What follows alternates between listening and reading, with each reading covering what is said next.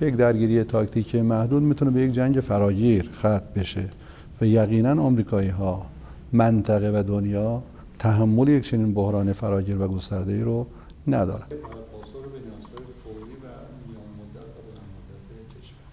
پس اینکه میگم جمهوری دموکرات مثلا فرض کن بر علیه ما به نفع ما له ما اینها یه خورده ساده اندیشی است چون اونها یک عمقی در سیاست و راهبردشون دارن. در این حالی که عملگرا هستن تاکتیک عمل می‌کنن عملیات می‌کنن ولی یک راهبرد ثابت هم. و اون رو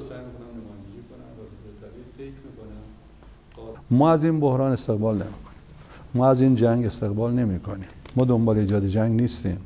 ولی ما دنبال مذاکره برای مذاکره و وقت دادن و وقت خریدن طرف مقابل از خودمون برای هرچی بیشتر تضعیف ملت ما یا اعمال تحریم های بیشتر بر ملت این رو هم نمیپذیریم.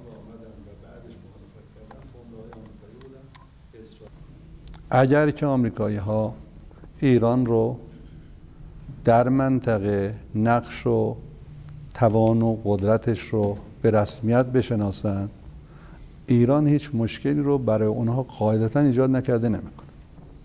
اگر قرار باشد که اونها اهداف راهبردی رو در منطقه ما تعریف کنند که این اهداف راهبردی درست نقطه مقابل اهداف راهبردی ما باشد حتما تنش خواهد بود. هیچ سازوکاری هیچ اقدامی هیچ برنامه صلح آمیزی به اصطلاح منظر اونها در منطقه اگر قرار باشد که ایران خارج از این گردونه باشه شکل نمی‌گیره و نمی‌تونه مستقر بشه.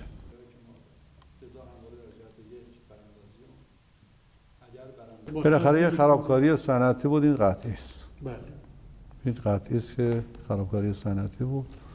حالا کسانی که متولی نصب واسه از تجهیزات بودند در یک زمان تغییرات رو احتمال در اونجا ایجاد کردن که منجر به این به اصطلاح انفجار شد. و بازسازی ادامه داره. حتما اینطوره. حتما توقف در کار نیست. بله. داخلی همه بچه ها خوب هم. و توی رنگ ها آبی یا قرمز؟ ما پرچم سرنگ ایران رو دوست داریم.